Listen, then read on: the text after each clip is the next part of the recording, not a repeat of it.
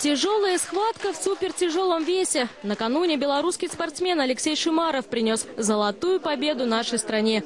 В турецком Стамбуле практически в свой день рождения он стал чемпионом мира по вольной борьбе. Таким образом, борец сделал подарок не только себе, но и всей Беларуси. Тяжелые в другом плане. На вес-то нет, а так они очень тяжелые.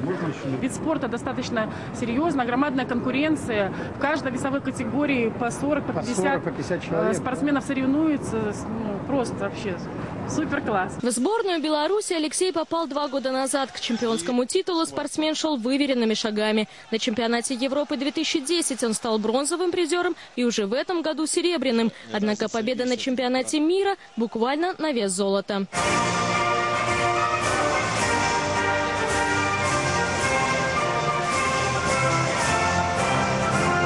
Когда я попал в финал, э, меня так э, захлестнули эмоции, так, честно, даже и плакать захотелось. Еле сдержался, просто от радости, что я в финал попал, а после финала как-то все...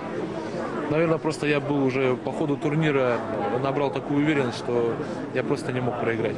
Такого огромного успеха у белорусских вольников не было 10 лет. А в самой престижной весовой категории до 120 килограммов последним героем оставался только Александр Медведь. В 10 раз приятнее иметь золотую медаль именно в этом весе.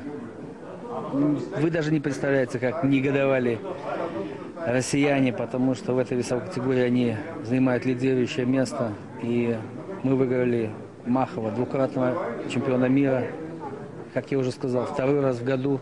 Алексей Шимаров также получил лицензию на Олимпийские игры 2012 в Лондон. Великолепные результаты стали лучшим признаком возрождения славных традиций белорусской школы борьбы. Всего на турнире, который продолжался неделю, наши спортсмены завоевали пять наград. Две золотые, одну серебряную и две бронзовые медали.